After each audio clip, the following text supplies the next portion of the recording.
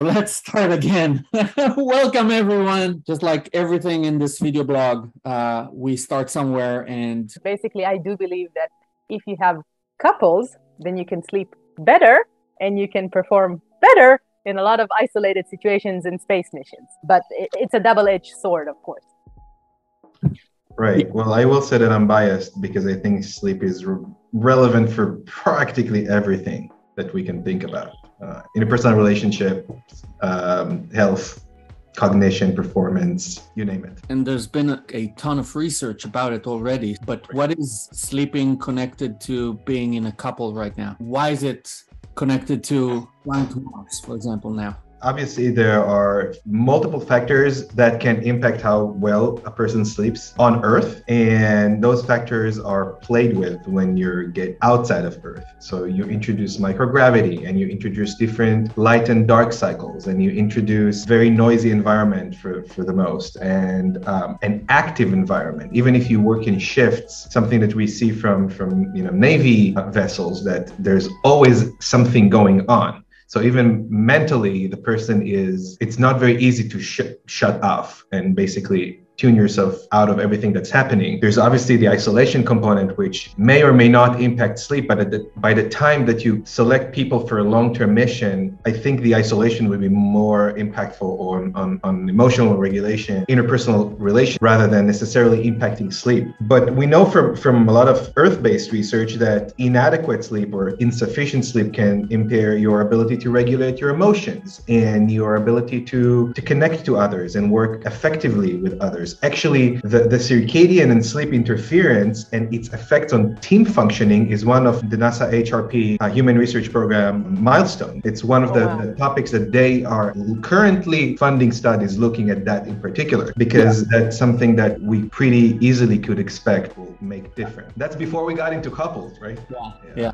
So with that, we're not a couple. We need to clarify that, I guess. we are on-screen couple, but we are not a couple we're we are a really good team. Don't don't don't ruin don't ruin the tension. Leave, leave some secrets. All right. We've gathered here today to talk about relationships in space and what it would take and what it would look like and what would be the challenges of sending people to a long term mission to Mars, which would mean a few years on Earth preparation and then six, seven months travel time, and then approximately two years on Mars for the first time ever. And then if you come back, another six, seven months at least, and that's approximately four years. So we've talked about what would it mean if if we uh, form a team, let's say, I don't know, 20 people, just a round number that kind of makes sense. What would it be like if we had a couple there, a married couple, or two couples? And what would the interaction be when you're working? In your off time with the couple compared to the other team. It's a small team inside a bigger team, and that's if you have one couple in a team. What if you have two couples in a team? So the whole array of yeah, yeah. So I'm gonna start, and I'm I'm an astrobiologist. I don't know anything about psychology or group dynamics or anything like that. But my two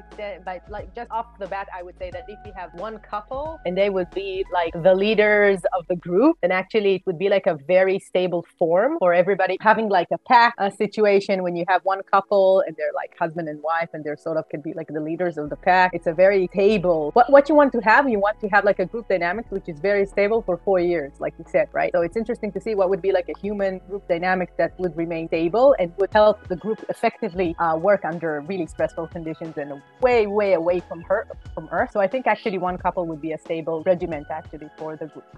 That's my own two cents. I'm not sure, you know, what the benefit would be to start with couples versus to actually start with a cohesive team that are all single or in a relationship in a, what would be a very long distance relationship back on earth. I think that if if couples will be like official couples will be added to the team it's going to be at least in the first couple of expeditions kind of a case study right to see how they actually function as a couple in such an environment. It's going to be hard. I i don't know. I think for the simplest option would be to take people in uh, or choose people who were either single or in a relationship um, on Earth, like have, have a family and kids or whatever on Earth, and then go to space. We also need to think about the possibility, particularly with the first expeditions, that there's a decent chance, we don't know yet for sure, but there's a decent chance that by sending them to Mars, we are killing their ability to procreate later.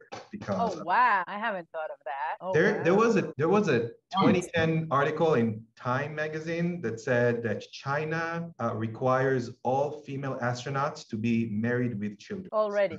Mm-hmm. Yeah, that's not a requirement for the Americans for sure. Mm, not a All right, so so we've we've started uh, deep diving here. Need to introduce the peak as well. oh yeah. So let's start again. Welcome everyone. Just like everything in this video blog, uh, we start somewhere and drive fast. I want to introduce Afik and Reut. Afik, let's start with you. Tell us a little bit about yourself. What do you do? What's your interest in space? And we'll take it from there. So, I am an almost PhD in clinical psychology, one month away by the time we are recording this. Thank you. All I need at this point is to survive until uh, end of June. I, in, in my past, I served in the Navy, and I think my, my interest in space kind of peaked at that point where I realized some of the really interesting interpersonal dynamics and focus on main, on optimizing performance in individual and team performance in these very unusual very some would say extreme environments. It, it, was kind of really what drew me from being in the navy to have an interest in psychology. And at the time uh, my commander was a really great supporter of me pursuing my interest in psychology. So i took evening classes in psychology. That's kind of like how i realized okay i'm, I'm going to be a psychologist one day. Nowadays I'm in this route to be a clinical psychologist, a clinical neuropsychologist, but I am still a huge space nerd. So I find myself thinking a lot through the lens of what I learn, uh, both in the, in the, through clinical work and research. How can we apply this to? How can we ask those questions in the context of space exploration? How can we test things in space that we cannot do on Earth that actually will contribute to our understanding of what's going, what's happening on Earth? That's kind of how uh, my uh, interest and involvement in space formed around my professional world, and I actually met Reut for the first time, tr- uh, trying to create a, a, project where my interest in I, I did a lot of sleep. I'm, I'm doing during grad school uh, sleep research and how we can use sleep research findings from Earth, test them in a Mars analog mission that Reut was leading in Israel and try to apply those findings in many different Mars analog settings so that we can draw the conclusion that if we see it enough times consistently in those similar but not identical settings, mm. we might be able to assume this will probably be the same on a similar habitat on a different planet. And in that case, it was Mars, but the, the, the technique is, ident- is, is similar for different environments. So thank you, Reut. It was an, an very a very amazing experience. For All the ups well. and downs. yes, yes, very uh, interesting. It was one of the most interesting, uh, interesting human human research that we had on uh, DMARS 003 in 2019. And uh, so, were you able to reproduce uh, this experiment in different analogs, in different Mars analogs or lunar analogs, and, and on Earth anywhere? Right. So not not yet. That's the the disadvantages of being a student, but that's definitely in my future. And I think more than being it, doing it by myself necessarily, it's more in the scientific community. There is quite a lot of work that has been done on sleep in, in analog missions, whether it's Mars analog missions or other analog missions. The, the idea would be to try to replicate what others saw. And if you can't replicate that, then I guess the question, why? What was different? Is there a risk that what we know from Earth based analog missions won't be able to replicate properly in a Mars setting, for example, and so on and so forth? So it's a kind of community effort. Yeah. I mean, uh, fascinating stuff. Just to clarify to our audience, what is an analog mission? Some people don't know that. So, analog mission is a space simulation mission that uh, evokes or simulates simulates one or more uh, conditions that you will have in a real space uh, mission. So, for instance, NASA has an underwater NEEMO project next to Key Largo, which is a base where every American astronaut goes between four to six weeks at a time to do a lot of training and how to work with the full suit on in a hostile environment. Well, you have to work out different tools and communications, and everything needs to work underwater. Other places are lava tubes. You have deserts. You have many different cool places where uh, astronauts tend to uh, do their training. And also, there's a really big community called the analog astronaut community, where basically me and Afik and Niv and people who are professionals in their own fields but are not astronauts as the designed or didn't go through courses by NASA or by other space agencies. But we do go out and we do test a lot of technologies and we do test and we do a lot of research and uh, really good outreach capabilities as well are developed there. And it just came back from uh, Biosphere 2, which had the analog conference there, the first one with Dr. Sian Proctor and Jasper Now, Pural, sorry, you Pural, I think that's the, the name. And it was absolutely amazing to meet all the people who are doing different types of analog. Met with people who are hydronauts. They have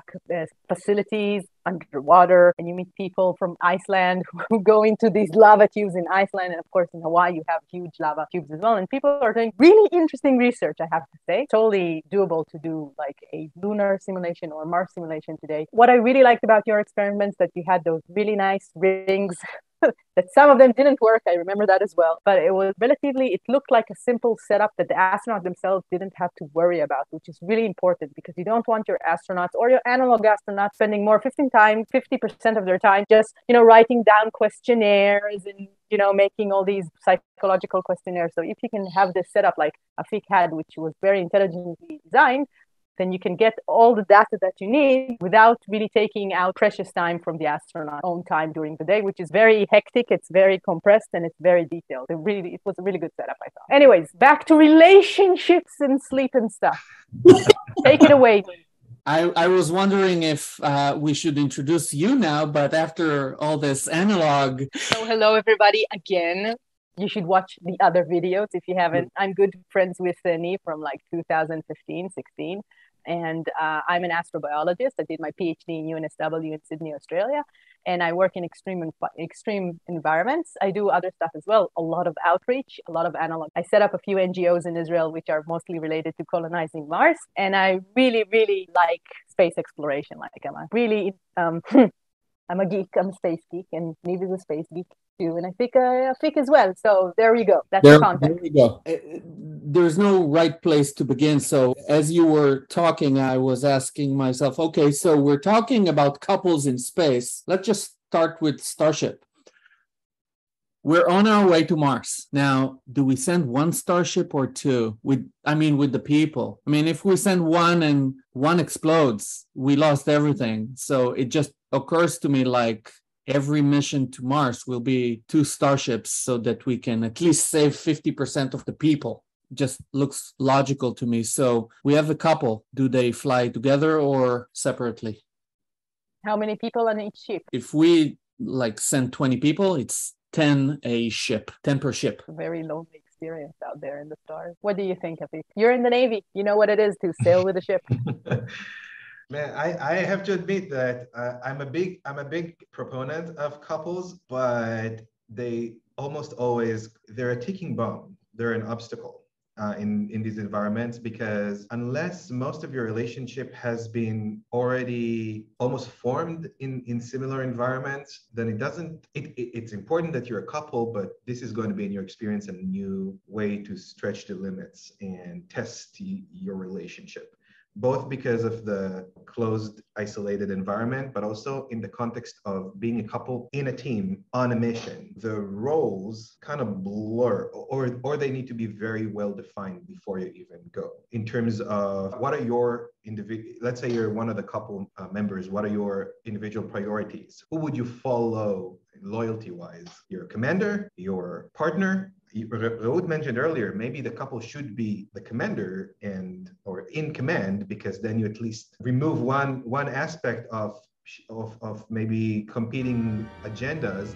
And actually maybe even you kind of like foster this parenting also component where you're responsible for the entire team and it, it it's, it's analog yeah. So that's a, an interesting question. Uh, i think if you end up sending a couple knowing that you're sending a couple you're probably going to send them together rather than in separate. I don't know. I mean i think also the the mission support center or the mission control would be a very important component in that kind of a mission. So actually having the couple and having one in mission control and one on the ship is also actually an interesting setup for this type of mission, not to be the same on the same ship as well, but also taking care one of another, making sure that everybody's still, you know, listening to Mother Earth, so on and so forth, which is a big issue with deep space missions, for instance, Neva.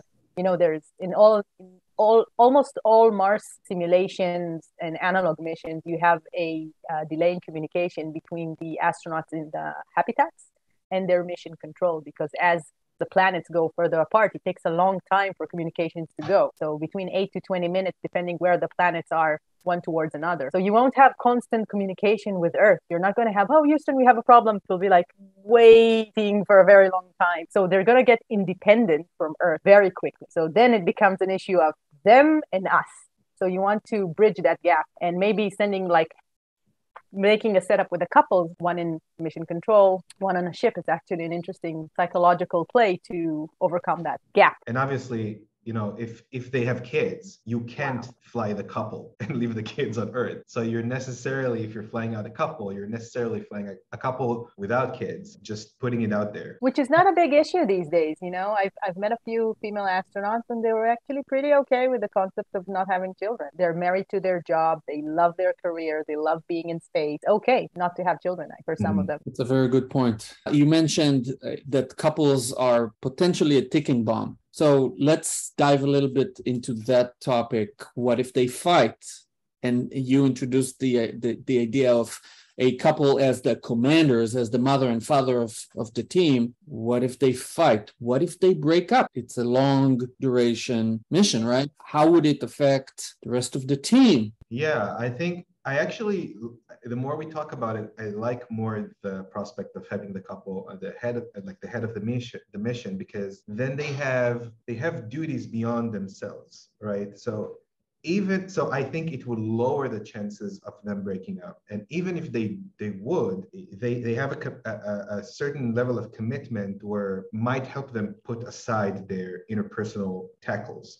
Obviously you, you can't totally predict that but you can try to to minimize Uh, the chances of interfering with the mission. And this is my bias because i am on on the route to become a clinical psychologist but i think that there's really no way around facing emotional difficulties. we can we can select the most resilient people or the more most hardy hardy people. There's actually a measure called hardiness that is correlated with success in, in similar environments like in astronauts or special ops and stuff like that. But you can pick the people that are most hardy and most resilient but still you're sending them on a three four year mission difficult mission nonstop you're always on duty there's always something to be done almost intentionally, right? You also you want to keep them active. You don't want to let them just like wither away. I think there's no way around facing and dealing with difficult emotional situations. Now the, the question is not if it's going to happen, it's what can you do about it when it happens. Interpersonal difficulties can be a, a, factor that plays into it. It can also be a supportive, a protective factor against it when you have someone who can help you process these emotions. I would love to think that if there will be couples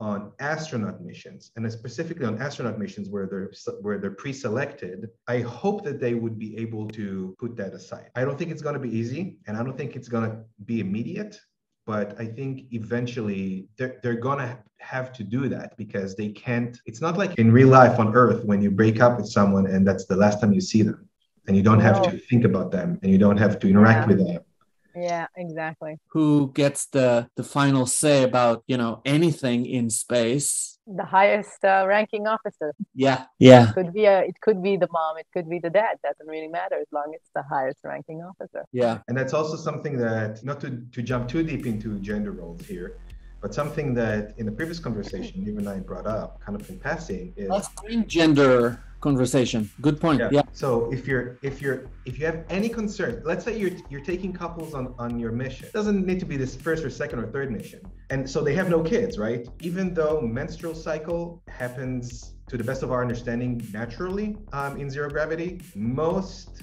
female astronauts choose to take contraceptives. And that's obviously a, a, we don't have a lot of research on the long-term use of contraceptive in space, but at least in the sh- in the relatively short term, we we know it works. But if you have any concern of potential inception or, or pregnancy in space, then you could think about prioritizing LGBTQ couples, where that chance is hopefully mitigated to some extent. If anything in couple in couple relationship can endanger a mission to Mars, pregnancy is at the top of that list. It's gonna be hard on the entire team. It's going to eventually completely take away at least one person of the team. There are a lot of medical considerations that play into it. Um, there, there are a lot of you know there, there are a lot that we that we don't know about what are the consequences for a fetus in, in deep space, more so because of radiation than because of gravity. So we know from from rat studies that rats can be uh, can become pregnant in space, can be born in space, and then have a normal life on Earth. We still don't have, to the best of my understanding, I think there is there isn't a full life cycle on space yet. I might be wrong, but at least like in, in the research 10 years ago, there hasn't been. Eh, there, there's some impacts on your vestibular system that there's delays in its development if you grow up in, in zero gravity and so on and so forth. We can put that aside for a second. What happens with radiation? Radiation eh, almost certainly will impact the fetus, whether it's making them sterile or actually have like birth defects or I don't high think rate of abortions. So what you're saying, you're not saying it. I'm saying it. we go to Mars. We spend two years there. We don't get pregnant because we don't want to take the risk. I think that's a fair assumption.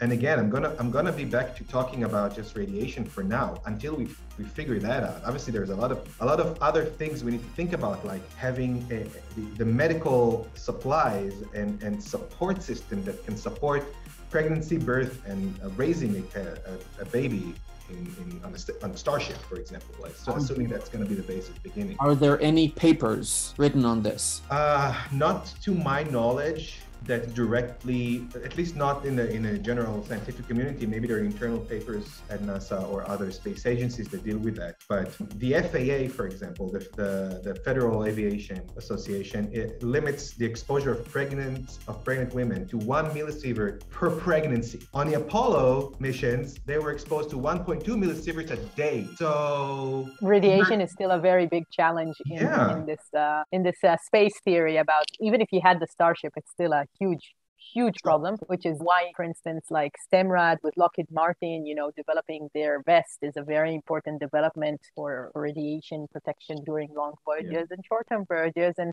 anybody who's not uh, super healthy right now would still like to to enjoy space and will need that kind of a protection as well. So it's an important product, and we still don't have a solution for it. Don't look so sad. I was just thinking about it. So think, think happy. Topic of is there any any type of let's call it female medicine that we should consider while going to space? Is there any difference between men and women in terms of medicine and treatment in space? Nobody knows. Nobody knows. Not for the long-term missions yeah. For the, for the short term you know there is women women's health is uh, one of the topics that every space agency had to do to to be con- you know, cognizant of because they send women into space. But long term, exactly, nobody knows. Going back to the analog missions, that's why analog missions are so crucial because we we need to take into consideration the potential environmental effects on the hormonal system, which is very sensitive to light changes, and sleep, potentially mm-hmm. microgravity as well. We don't know. I mean, long term. You know, again, I, I'm I'm bringing it in the context. Obviously, it's important for men's health as well, but in the context of women's health because we want to understand what are the risks, long-term risks, obviously immediate risks and acute risks, but also long-term risks, how, how being a part of a mission to Mars what are some considerations that the female astronaut need to take into consideration and decide I'm taking that risk? But we need to talk about those risks. We don't know yet, unfortunately. Do you think there are any like special op analysis that some of the few special ops around the world unit that might have women in it might have interesting analysis on that issue? You know, women in long duration under stressful conditions, under physical duress as well. That's probably a good place to look for some answers. Yeah, I, I'm, I'm assuming there is literature. I'm not I'm not sure. That's not exactly my expertise so I can speak about it with, with certainty. I'm not sure that the physical duress is equivalent because actually you know, at least an entire route to Mars, the mm-hmm. time they spend on Mars and the way back, they're probably going to be under less physical duress than they would be on Earth. Uh, there's you know zero gravity on the way there, a third of gravity on Mars. They're gonna hate every minute once they reach a gravity well. I mean, after your body adjusts to zero gravity, adjusting back even to a third of a gravity is, is Yeah. hell on the it's hell on the body. And on Earth, it does take them a while, take them a while, and they need a lot of assistance actually just to be carried from one place to another. So that's another sort of like a difficult milestones for us to land. on When they land? really, yeah. Wh- So if the team lands on Mars, will they be able to uh, like first day start working, or they're gonna just sit in the spaceship for a couple of that's days? that's that was like one of the logics behind one of NASA proposal to to have rovers and have like I would say like quads for them and so on and so forth because they won't be able to do anything under under under two Wow. feet anyway and they're gonna use a lot they will need some sort of mechanical and automation aid as well and uh, and exoskeletons would be really necessarily necessary at that point but there is still no solution for that but yeah after six seven months in space your body completely acclimates to this kind of environment and you're having a good time with it but then you need to to deal with reality and the, the reality is gravity so it's going to be a big issue yeah anyway And, and just to and just to make an input here about people who are wondering like how research in in space can benefit people on Earth. If we get to develop an exoskeleton that is natural and working well, just think about the rehabilitation implications on Earth for that. The the the, the benefit that people that cannot walk, cannot uh, are limited in movement would benefit from that on Earth. We, we knew it's a, it's a possibility on Earth for a very long time. Only recently we see it really implemented in rehabilitation settings but now you have another incentive to put money and, and r&d into it right? Because as you said that's something you'll have to solve. Vote for exoskeletons. That's what i'm saying just to to close this. So basically a afik here thinks that couples unless it's like they're in command you know situation then it's probably not a good idea to send couples. There's also the issue of radiation uh, so not you have to take yeah, family planning is a is an issue that needs to be addressed and and be very you know absolute about it very confident about what you're saying there. So he's and from a team perspective having a couple within it's a bit of an issue that this was a very interesting uh, solution to bring the to bring perhaps couple from the lgbt community when it comes to all the issues of pregnancy and so on and so forth. Anything else someone would like to add to the issue of couples on a team tomorrow. should we go for the polyamoria kind of discussion thing or should we hold back? I'm not sure. You know you open the door we can discuss a lot of is it is it like an opportunity to have a completely alternative you know lifestyle choices or we're more with you know legs on the ground and just Are you- be a military operation and that's it. Long term maybe. I don't know. Maybe there's Yeah. going to be a lot of women and only one man you know because women are much more durable during stressful situations. So we're going to survive on mars and you won't so therefore there's going to be much more women. We need to think about that as well. I'm sure that that's something that we need to bring to the conversation long term uh, because even if you send let's say let's say you decide not to send couples or only send one couple they're going to be there for four years. Of course, there are going to be relationships during the mission, of course. I, I know I always hate how like Hollywoodic adaptations of space related stuff is always super melodramatic and everybody is like cheating on everyone and like I'm, I don't, I'm not sure it's gonna look like that yeah. but it's not entirely far-fetched. Um, and, and obviously the one topic that we we should talk about whether in monogamous couples or not is the context of sex in space Thank you. yeah. Okay, now we're gonna let Afik talk for like one hour, and we would not interrupt them anywhere. That's it. we don't know right Sex in space. Go. we don't know. I mean, there are a lot of rumors, and there are a lot of uh, you know these books that come out every once in a while that say, you know, there are a lot of secret projects from NASA and uh, Roscosmos that send people to have sex in space and see what happens. And we can't know for sure. I don't think that's true, but the concept of having spa- uh, sex in space is has interest humankind since the the idea of being able to be in space became a reality, or even before. You know, you know, you have Asimov writing a, an article about having sex in space and the benefits of low gravity. It was like in the 70s or something like that. Which Um, which which which which which which essay of Asimov? I thought I knew everybody. Called Sex in a Spaceship. Sex in a spaceship. I'm gonna look Yeah. that up. For sure. Yeah, so people thought about that. I don't think we have uh, actual evidence for that. Uh, They're not published, that's for sure. They're not published yet. Yeah, They're not published. exactly. Uh, I wouldn't be Yeah, surprised if that happened off radar. People think about that. I don't know if you, you have you ever uh, heard about the two suit? That's an interesting discussion. Uh, at the two suit, literally the number two in the word suit. I, can't remember the person who developed it or what her credentials or experience, but the idea was to develop a garment that you can wear while in zero gravity that will assist you in the very difficult, physically difficult act of having sex in space. Physically difficult from from the context of laws of physics. Yeah. Uh, yeah. Newton's laws and Oh my God, there's like a Wikipedia thing on it. there is. Oh my You're welcome. God. Oh my god. okay, God. dive in. Tell us, tell us more. no, I just listen. This is amazing. It was invented by Vanna Bonta in 2006. Wow. And the Yeah. first suit was manufactured and tested. So the uh, History Channel had a, a, a show called Universe, the Universe, and they had a whole episode about that too. Oh, Niv, you have to. You have to get that. Niv.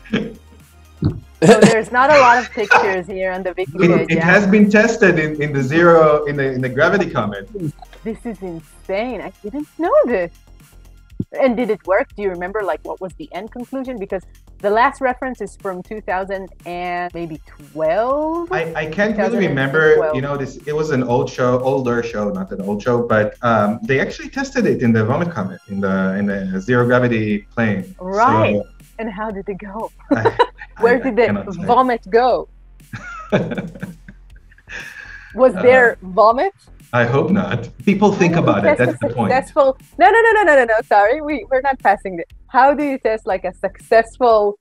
So zero G, you know, it's like you go up and down, right, for se- like several times, and you have maybe like zero G, you have microgravity conditions for maybe 20 seconds or something like that. So you have multiple times of 20 seconds where you sort of like float inside On the plane, you're hyperbolic on the the plane. plane.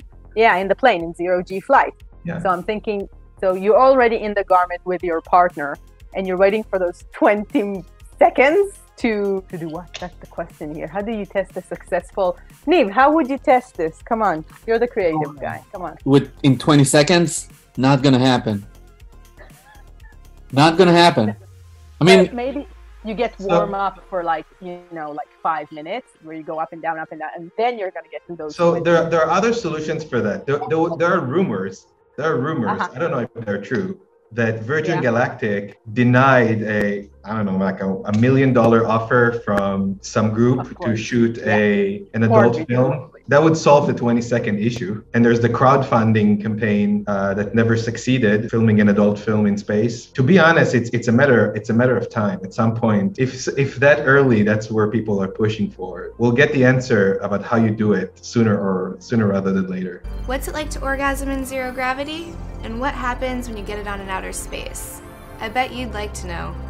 Like uh, for me, you know, they already, you know, at least in the International Space Station, you see all these, you know, sleeping bags. So eventually, you're just going to have like a bigger sleeping bag, and you're going to put two people in it, and that's it. I think, no. if you're looking at men, it, it's only a matter of blood cir- circulation, right? Oh, I didn't think about that. Today, It's blood circulation. So if you can solve erection in space, then basically, then you need your brain to work, right? Yeah, I think that's not a problem actually in space. That's a good But, question. uh, but this is a fascinating topic. It comes up in every analog astronaut conference or whatever webinar that I've heard of. And I think it's about time the public would get some answer, don't you? yeah, that's an interesting question. I mean, it's not going to be fun on the ISS because it's going to be steamy and hot, and uh, your sweat doesn't go anywhere. Is there a lot of noise in the space station? Clicking and yeah, it's a lot of electrostatic as well. So all, all the equipment needs to be cooled. So there are a lot of cooling equipments that constantly running, and AC that's constantly running, Mhm. and uh, purifying systems that constantly running. So there's always some electrical machinery that's Constantly running. constantly running. That's crazy. Imagine that you need to fly to space and then fly for seven months, and suddenly you're on Mars and it's quiet. Maybe some humming from a little bit of wind. I don't know. But suddenly it's quiet after months that you're on Starship. Also thinking about how it would feel not to see Earth. That's like, amazing. not to be able to even know the direction of home. Okay. Michael Collins um, described it when he went to the far side of the moon when he was circling the moon waiting for the guys on the, the landing part finished. And he said, That time when I was on the other side of the moon, there were no communications because the moon blocks everything and he didn't see Earth. And he said, At the time, I was the loneliest human being ever. And that's every time someone passes the far side of the moon, that's it, It's connected from Earth. So on Mars, it's going to be quadruple that. that's pretty incredible. Okay. I think uh, we've uh, We have enough? You sure?